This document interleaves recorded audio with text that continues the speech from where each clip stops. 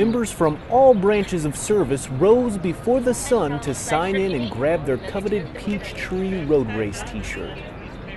Races held at Bagram Airfield generally attract a significant turnout of service members who enjoy running. We expect to have uh, uh, at least 600 participants today. This particular race, which is held every 4th of July, attracts runners of all types and skill level.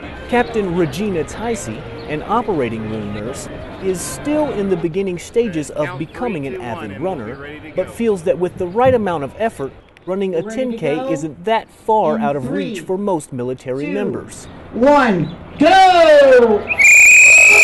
I've been running since January, so I would say from couch to 10K, maybe three months would be good. Lieutenant Colonel Keith Matiskella of the Rapid Equipping Force has been running since high school and logged the fastest overall time in just under 35 minutes. That's pretty good for me. I'm not quite as fast as I was when I was 21, so getting up there in years. But it, I'm very happy with that. That's as fast as I've run here uh, at Bagram. So.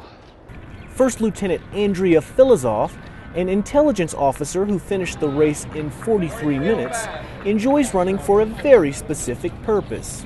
Uh, it's great. I work with a lot of guys, so it's good to get out and represent for women and uh, show that we can hang. Whatever the reason or the skill set of the runners at this year's Peachtree Shadow Race, everyone seemed to enjoy themselves.